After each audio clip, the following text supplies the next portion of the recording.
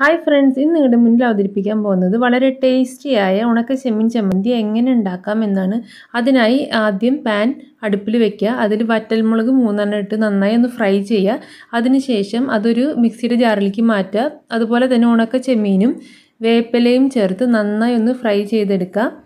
നമ്മൾ നേരത്തെ ഫ്രൈ ചെയ്ത് വെച്ച് വറ്റൽമുളകും ഉണക്ക ചെമ്മീനും അതുപോലെ തന്നെ വേപ്പിലയും മിക്സിയുടെ ജാറിലിടുക പിന്നെ ഒരു ചെറിയ കഷ്ണം വാളംപുളി ഇടുക മുളക് പൊടി ഇടുക മഞ്ഞൾപ്പൊടി ഇടുക പിന്നെ ഉപ്പ് ആവശ്യത്തിനുള്ളത് ഇട്ട് കൊടുക്കുക എന്നിട്ട് മിക്സിയുടെ ജാറിൽ നിന്നിട്ട് അടിച്ചെടുക്കുക അപ്പോൾ നമുക്കൊരു പൊടി പോലെ ആയിരിക്കും കിട്ടുക.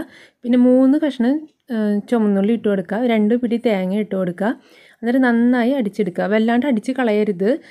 പതുക്കെ നിർത്തി നിർത്തി വേണം അടിച്ചെടുക്കാനായിട്ട്. ഈ സമയത്ത് നമുക്ക് ആവശ്യത്തിന് ഉപ്പ് വേണമെങ്കിൽ നമുക്ക് ചേർത്തി കൊടുക്കാം. അതിനുശേഷം നമ്മുടെ ഉണക്ക ചെമ്മീൻ ചമ്മന്തി റെഡി ആയിരിക്കുകയാണ്. ഇഷ്ടപ്പെട്ടാൽ സബ്സ്ക്രൈബ് ചെയ്യുക ലൈക്ക് ചെയ്യുക നിങ്ങളുടെ ഫ്രണ്ട്സിനും ഷെയർ ചെയ്ത് കൊടുക്കുക. Okay bye bye